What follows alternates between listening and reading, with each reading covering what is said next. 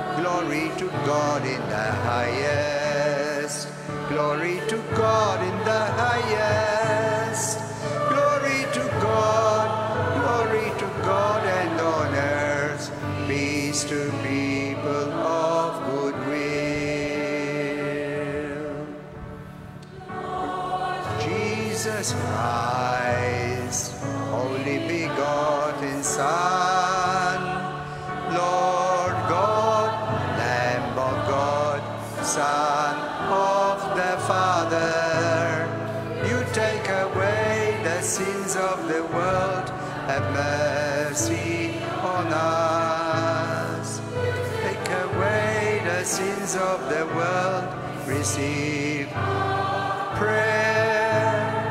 You are seated at the right hand of the Father.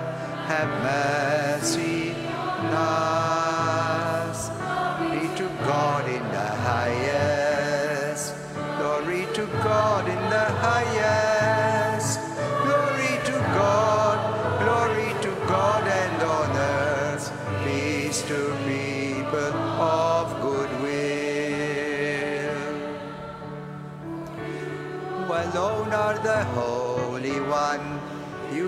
alone are the Lord. You alone are the Most High, Jesus Christ,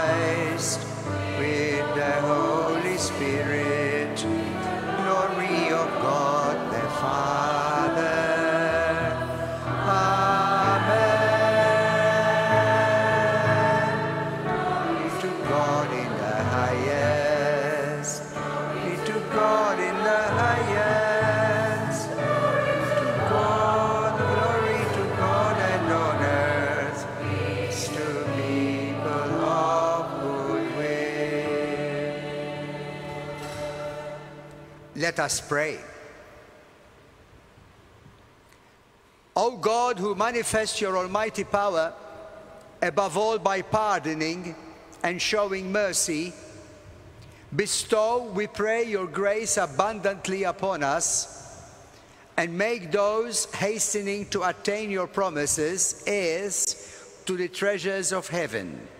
Through our Lord Jesus Christ, your Son, who lives and reigns with you and the Holy Spirit, God, forever and ever. Let's be seated now and listen to the Word of God in the Scriptures. A reading from the book of Numbers. The Lord came down in a cloud. He spoke with Moses, but took some of the Spirit that was on him and put it on the 70 elders. When the Spirit came on them, they prophesied, but not again. Two men had stayed back in the camp. One was called Eldad, and the other Medad.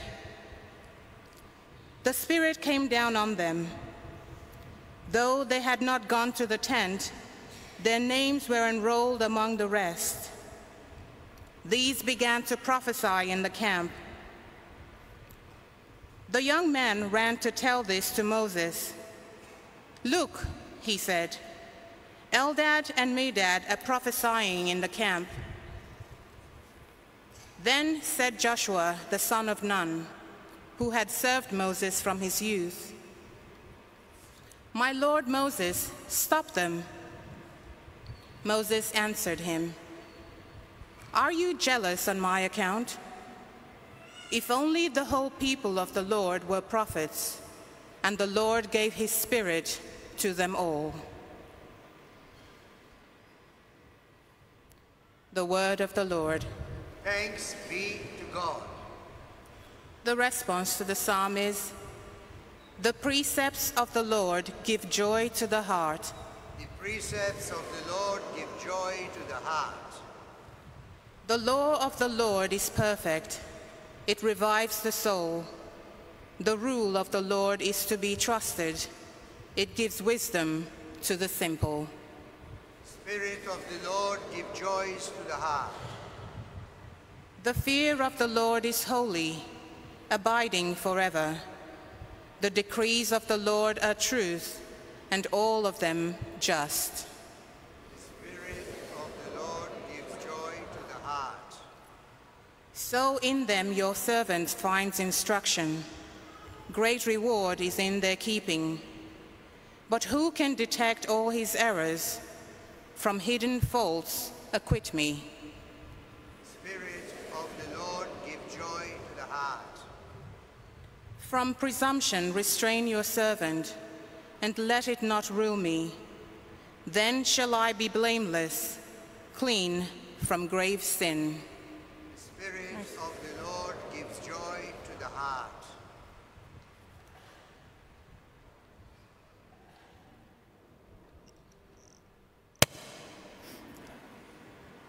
A reading from the letter of St. James. An answer for the rich. Start crying. Weep for the miseries that are coming to you. Your wealth is all rotting. Your clothes are all eaten up by moths.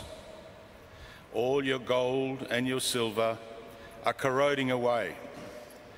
And the same corrosion will be your own, your own sentence and eat into your body. It was a burning fire that you stored up as your treasure for the last days. Labourers mowed your fields, and you cheated them. Listen to the wages that you have kept back, calling out. Realise that the cries of the reapers have reached the ears of the Lord of hosts. On earth, you have had a life of comfort and luxury. In the time of slaughter, you went on eating to your heart's content. It was you who condemned the innocent and killed them. They offered you no resistance. This is the word of the Lord. Thanks be to God. Please stand for the Alleluia verse.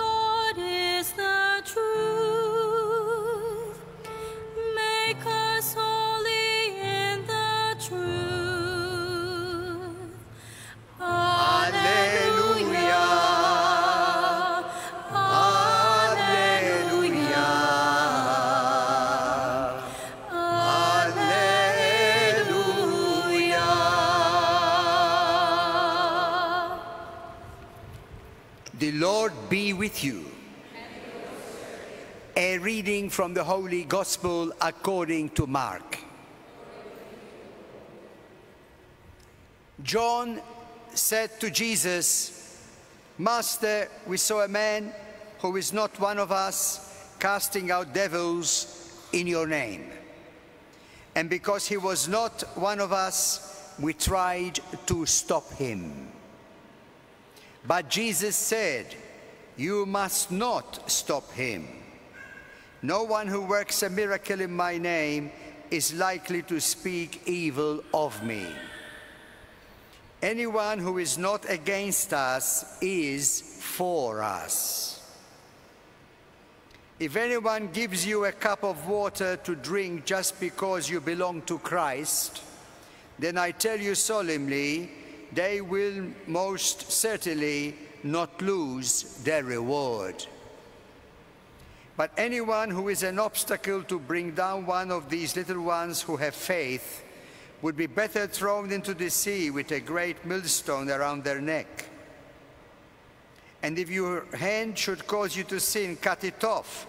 It is better for you to enter to life crippled than to have two hands and go to hell, into the flame that cannot be put out. And if your foot should cause you to sin, cut it off. It is better for you to enter into life lame than to have two feet and be thrown into hell. And if your eye should cause you to sin, tear it out. It is better for you to enter into the kingdom of God with one eye than to have two eyes and be thrown into hell, where their worm does not die, nor their fire go out. The Gospel of our Lord Jesus Christ.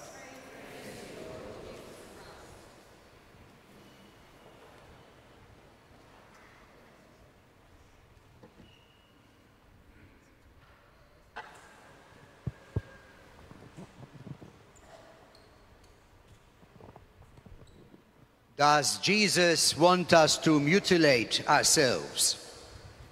I don't think so. But he's trying to make a strong, strong point. He is saying there is worse things than having your hand cut off, your eye pulled out, and your leg cut off. And sinning is worse than that. In other words, he's trying to say sin should be avoided at any cost. He's trying to make it very clear. And what is sin? Sin is doing what God is telling us not to do. God wants us to be fully alive, fully who we are meant to be. And the guide for that, the best guide we can ever possibly have, is Jesus Christ, the incarnate God among us. And what He has given to us is, of course, His church family to guide us, to teach us, and to help us understand what God is saying to us. So it is wisdom to understand the gospel. It is wisdom to know what it teaches. It is wisdom to follow the path that God has given to us.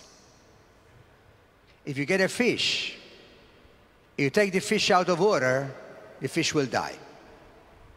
If you go underwater and stay there long enough, you will die too. And if we are not connected with God, we are disconnected with ourselves and with life. So Jesus is making a very strong point, and we need to remember that. Not to choose what is easy, but to choose what is right and what is good. You've heard the phrase, you cut your nose to spite your face, which means we harm ourselves when we are not in harmony with God. God wants the absolute best for us. The opening prayer of the Mass said clearly God's power is manifest in His forgiveness and healing. And Jesus reached out to sinners. Jesus reached out to those who were on the outer and He brought them in. And He said, Now go and sin no more. He empowered people to overcome sin.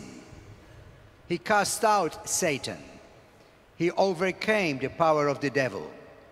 The devil does not have a grip on us unless we let him. Because God's power is bigger than the devil, bigger than our own human weakness. So God is the power greater than us that can help us make a stand on whatever is leading us away from Christ and his message. And it's good to reflect in our own life. Is there something I am doing that is taking me away from being centered on Christ? And of course, at the beginning of Mass, we all apologize. We all recognize our sin. And naming it is wisdom. Because we can say, Lord, I need you. We don't need to hide from God like the story of Adam and Eve when they hid from God. God is calling us in Jesus to life and wants the best for us. With the power of God, we can make good choices. But we need to have a, a daily reflection in our lives. How was my day like today? In all of my relationships, how was I like today? Did I pray? Did I speak to God? What about myself? Is there anything I have done that has taken me away from God, from being true to myself? Any action, anything that I have done that takes me away? What about how I treat others? Have I been caring, respectful, loving, forgiving? And then how do I relate to life? to do the spiritual examen that St. Ignatius of Loyola spoke so strongly about. To examine our life, not to go feeling bad, not to go beating ourselves, but so that we can be liberated by the grace of God, set free from the obstacles and the excess burdens that we carry. God desires us to be who we are meant to be. And listening to Jesus and the commandments of His church lead us in that direction. And then in the gospel and in the first reading, we have situations where people were receiving the Holy Spirit and others said, but they're not exactly part of us. What's going on here? What are they doing? Jesus has, of course, given us the church. And in the Catholic Church, we believe strongly there is that apostolic authority. There is that link with the apostolic church and holy tradition, which are very important. And Jesus did promise, I will be with the church till the end of time. Despite human weakness and frailty, the church is the teacher that Jesus has given to us. But then also we know that there are other Christians and we don't agree with all they hold and in fact disagree with some of them. But we are called to recognize that God loves them as well. And we are called to be respectful and loving to wherever God blows and wherever God wills. God is bigger than all of us put together. So without denying the truth of the church, without denying any of that, because that's really true and we need that, we also recognize that God's power is in all people as God wills, as God wills. And God alone knows how God wills. We don't decide that. We don't determine that. That's none of our business. It is our business to teach correctly. It is our business to teach what is right and to hold on to it. That is important. We don't negotiate that. That's very important because we don't want to be wishy-washy in what we believe in our faith. It is important that we understand, practice, and live our faith and the teachings of our church. But it's not our business to judge other people. We are called to live by our example and, of course, explain to those who want to, who are ready to listen, why we believe what we believe. That is important. That is important to keep being light of the world and salt of the earth. Thank God for Jesus, who is indeed that way, truth, and life, who acts every day in our lives in such a special way to the sacraments, to the life of the church.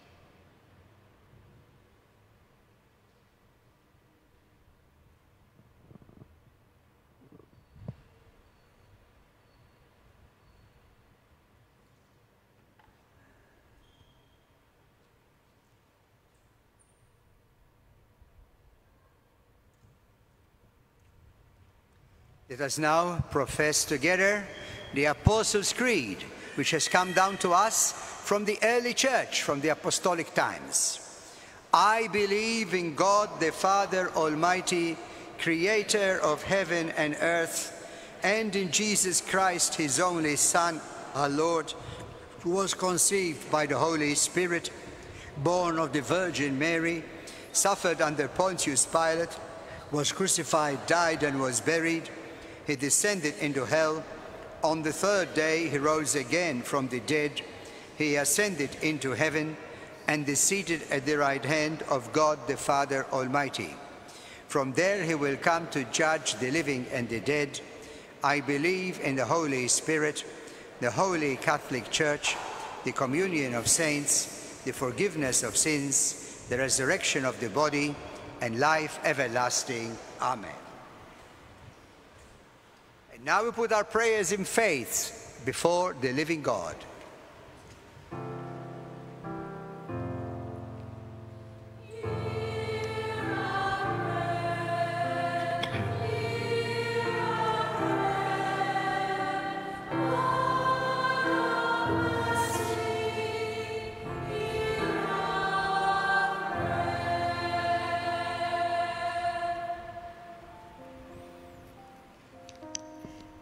Pray for Pope Francis and the leaders of our church.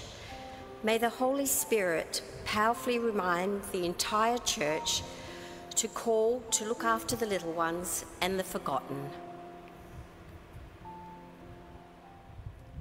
We pray for leaders of the world. May they use their influence and resources always for the good of their constituents. We pray for ourselves. May we always seek first the kingdom of God, and may we never be ruled by self- selfishness or greed.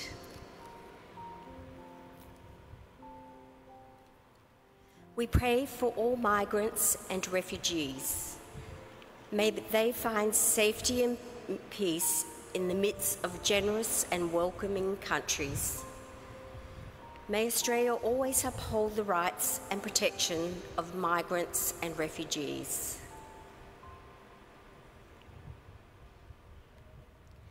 We pray for all those who suffer poverty because of war, famine, or natural disaster. May greed and selfishness be always defeated by spirit filled charity everywhere.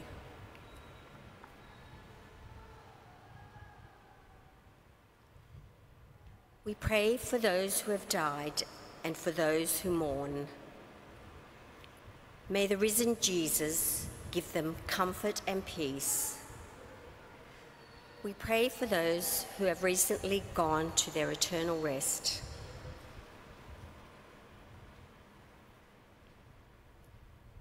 And for those whose anniversary occurs about this time.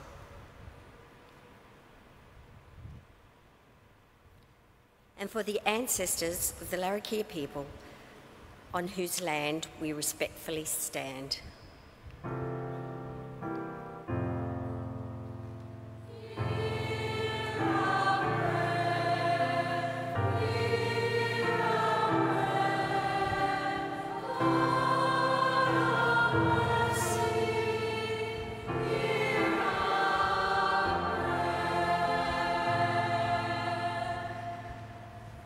We remember, as we mentioned at the beginning of Mass, Mark and Max, welcoming them into the fullness of life, for their families in their time of grief and their friends. We also remember the St. Vincent de Paul Society, who this week celebrated 75 years of ministry within the Northern Territory. Bless its members, Lord, and call new people to volunteer to work with the St. Vincent de Paul Society in its ministry. We place before you everything that is in our hearts, the troubles in the world around us, and we pray that we all hold on to your truth of faith and love, which truly sets us free. Through Christ our Lord. Amen.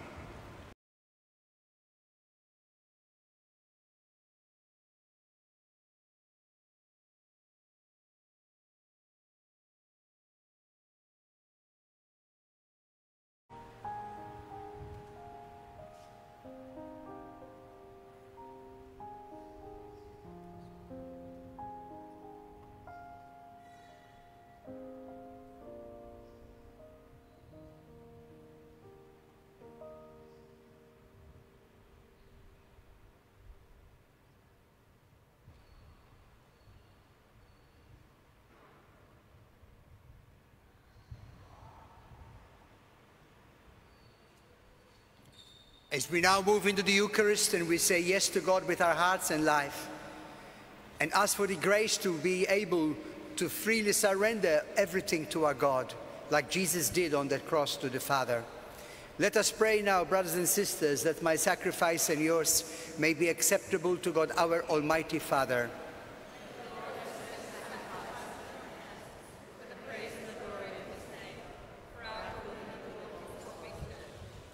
Grant us, O merciful God, that this our offering may find acceptance with you, and through it the wellspring of all blessing may be laid upon, open before us, through Christ our Lord. Amen. The Lord be with you. Lift up your hearts. Let us give thanks to the Lord our God. It is truly right and just, much more than a duty and good for our salvation, always and everywhere to give you thanks, Father most holy, through your beloved Son, Jesus Christ, your word, through whom you made all things, whom you sent as our Savior and Redeemer, incarnate by the Holy Spirit and born of the Virgin. Fulfilling your will and gaining for you a holy people, he stretched out his hands as he endured his passion, so as to break the bonds of death and manifest the resurrection. And so, with the angels and all the saints, we declare your glory as with one voice we acclaim.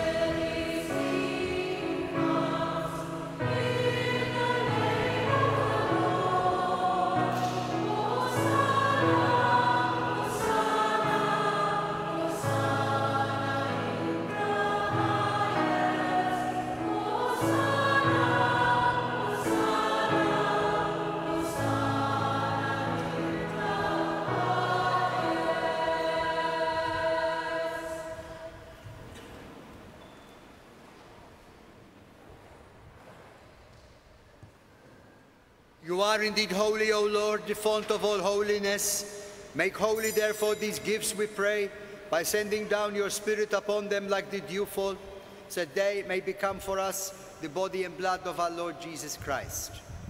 At the time he was betrayed and entered willingly into his passion, he took bread, and giving thanks, broke it, and gave it to his disciples, saying, Take this, all of you, and eat of it, for this is my body, which will be given up for you.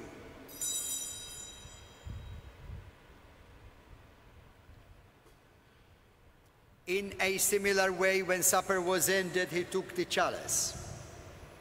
And once more giving thanks, he gave it to his disciples, saying, Take this, all of you, and drink from it. For this is the chalice of my blood, the blood of the new and eternal covenant, which will be poured out for you and for many for the forgiveness of sins. Do this in memory of me.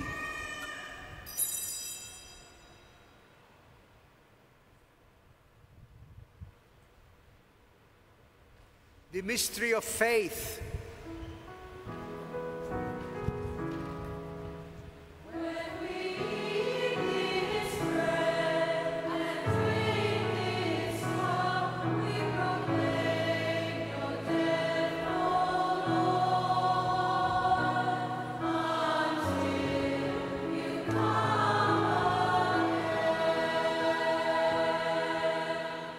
Therefore, as we celebrate the memorial of his death and resurrection, we offer you, Lord, the bread of life and the chalice of salvation, giving thanks that you've held us worthy to be in your presence and minister to you.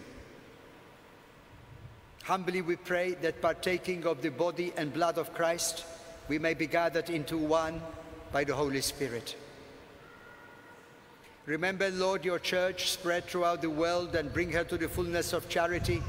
Together with Francis, our Pope, me, your unworthy servant, Bishop of this church, Bishop Eugene, our emeritus, all the clergy who serve your people, and the entire family your son has gained for you. Remember also Max and Mark, who have been called from this world to yourself.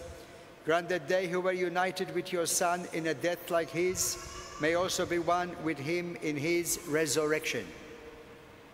Remember also our brothers and sisters who have fallen asleep in the hope of the resurrection, and all who have died in your mercy. Welcome them into the light of your face.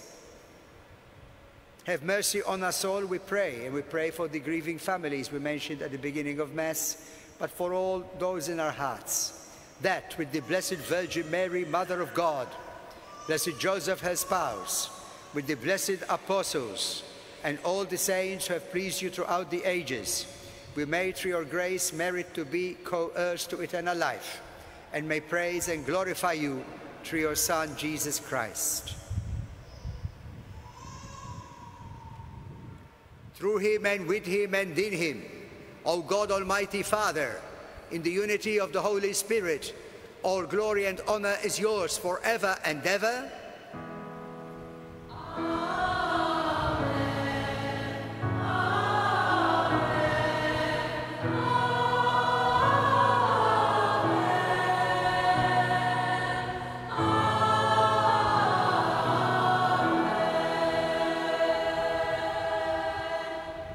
Let us now pray the prayer that Jesus taught us. Our Father, who art in heaven, hallowed be thy name. Thy kingdom come, thy will be done on earth as it is in heaven. Give us this day our daily bread, and forgive us our trespasses, as we forgive those who trespass against us. And lead us not into temptation but deliver us from evil. Deliver us, Lord, we pray, from every evil. Graciously grant peace in our days, that by the help of your mercy we may be always free from sin and safe from all distress as we await the blessed hope and the coming of our Savior, Jesus Christ.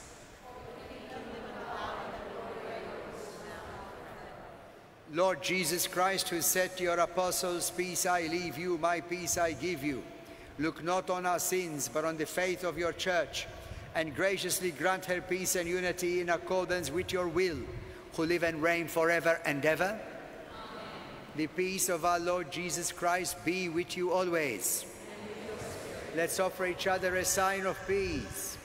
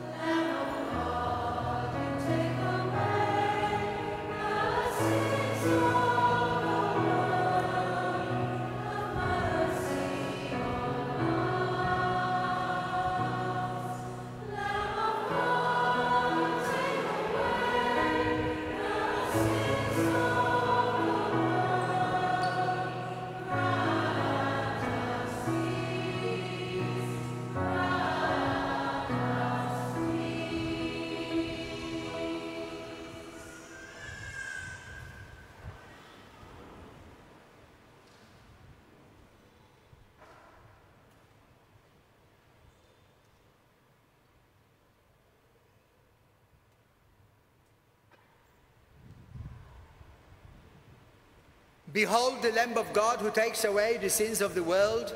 Happy are those who are called to the supper of the Lamb. Lord, I am not worthy that you should enter under my roof, but only say the word, and my soul shall be healed. My Jesus, I believe that you are present in the most blessed sacrament. I love you above all things, and I desire to receive you into my soul. Since I cannot now receive you sacramentally, come at least spiritually into my heart. I embrace you as if you were already there, and unite myself wholly to you. Never permit me to be separated from you. Amen. Let us pray. May this heavenly mystery, O Lord, restore us in mind and body, that we may be co heirs in glory with Christ, to whose suffering we are united, whenever we proclaim his death, who lives and reigns forever and ever.